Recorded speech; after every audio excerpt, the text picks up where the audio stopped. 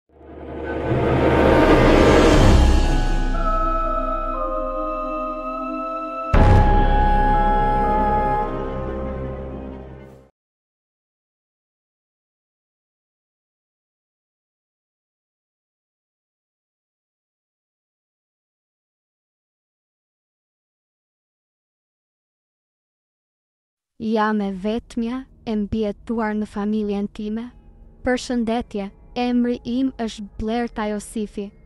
Vite më parë, më dy mijë e nëntëmbëdhjetë, unë së bashku me nënën Zhaneta dhe motrën Anisa, vendosëm t'i dedikoheshim Perëndisë dhe ta tregonim këtë me vepra.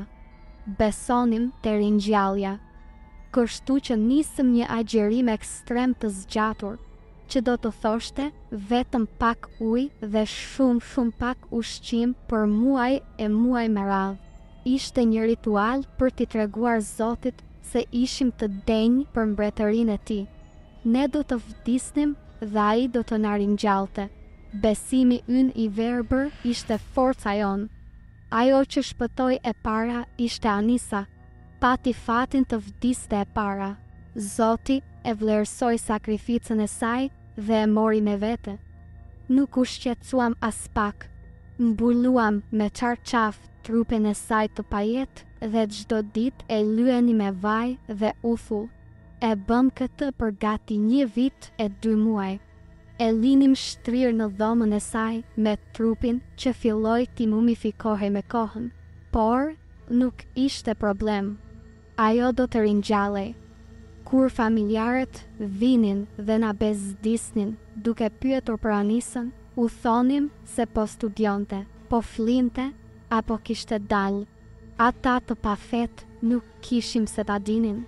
E kështu kaloi plot një vit e dy muaj, jetoja në shtëpi me mamanë dhe motrën e vdekur.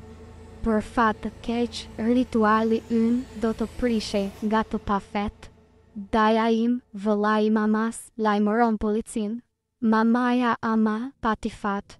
Ajo vdiq dy ditë para se policët e mallkuar të vinin. Trupi i saj mbeti në sallon.